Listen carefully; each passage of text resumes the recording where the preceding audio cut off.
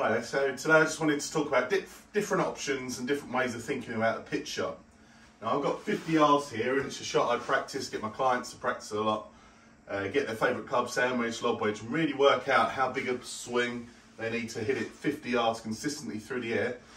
And especially in the winter when you're hitting a sand or lob wedge up in the air 50 yards, if you strike it properly it should stop pretty quickly on, uh, on soft greens in the winter. So it's good to have that shot. Obviously it's got to be quite a precise shot, so you've got to land it all the way there, bit of a pull, but get it to stop pretty quickly. So straight away I've hit that 48 yards, so pretty happy with that. The only trouble with that is, you know, if you've got a pin at the back of the green, and you are not quite as precise as that one, and you hit it 53, 54 yards, you know, if you miss the green long, that could leave you a tri tricky chip. So I think it's important to be, you know, have more than one shot in the locker. So I've got a pitch wedge here now, and I can make a shorter swing in getting it running up there. So if you've got the room to uh, land it, pretty good, I'll take that one.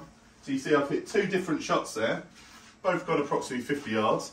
But I think if you've got green to play with and you don't have to carry a hazard, bunker, etc., the safer shot for me is to land it 20, 30 foot short, depending on conditions, getting it running up there. It's only a short little swing as well, so more margin for error. If you get the big swing with a sand wedge wrong, then flows you like to thin it, that could go flying over the back of the or anything. So try and pick a yardage, whether you do it down the driving range. I think this is one of the best things about this room here is really measuring trajectories and distances and playing around with different shots. And it's something I get my clients to do quite a lot. 50 yards with a pitch and wedge, gap wedge, sand wedge, lob wedge, see if you can develop real good touch and feel with it. But I think if that, unless that pin's at the front over a bunker, put the lob wedge away and try your pitch wedge, gap wedge, get it running up there and see how you get on. But um, if you want to check all your numbers, come down and get in the simulator soon and we'll uh, test you out.